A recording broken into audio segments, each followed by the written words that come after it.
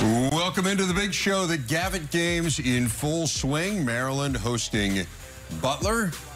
See Kevin Huerter in the Terps and Huerter early on making his presence felt. The nice feed to Bruno Fernando.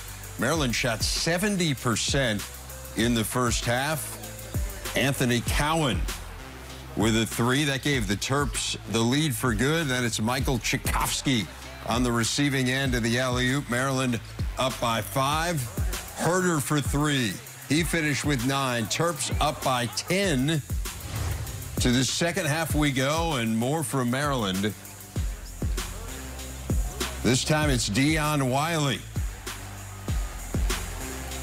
Middle of the second half now, up by five. Wiley getting it back. Cowan. The deep three from the Gary Williams signature. And he drains it. And then the Terps putting it away. Darryl Morsell with the steal and the jam. Maryland a 79 to 65 winner. Cowan with the FS1 crew.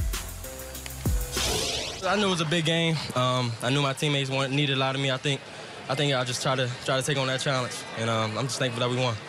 Freshman year, you play alongside as a dynamic duo your friend Melo Trimble. Uh, you still stay in touch with him.